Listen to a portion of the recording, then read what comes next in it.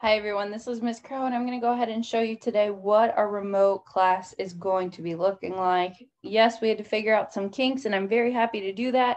So now we're going to go ahead and get started with how things look. Okay, so tomorrow morning, first thing, it's a Tuesday. It's our first day back after spring break. You're going to go to courses and your child is going to click the course of that correlates to their grade. Now, all of our third graders have this class, all of our fourth graders have this class.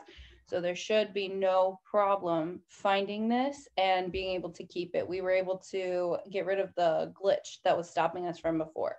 So first things first, I want you to see the remote schedule. All of these are clickable links. However, it can also be found in another place. So on Tuesday, as we go ahead and see, we can also see that there is math.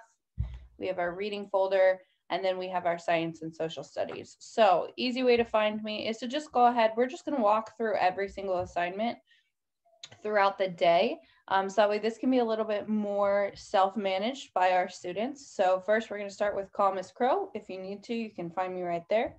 Watch CNN 10 is going to be right there. Um, discussion about CNN 10 right here. Then we have our math, Zearn, and math center. So you're going to go ahead and do all of this with me until about 9.30 or 9.40. Then we will have reading. That is when the students, so then the students will finish up their Zearn and their math centers on their own. They are going to call me back at 1040. So there's the link to click if you're having a hard time seeing um, the above schedule. Then we have our two reading assignments. They will probably finish the Edmentum without being on the computer with me. So that'll be something that they do independently. But again, it's just walking straight through the list. Finally, you have science and social studies and there is the link that goes along with that. That it does not have a link to call me, so it is a time when they are working on that asynchronously.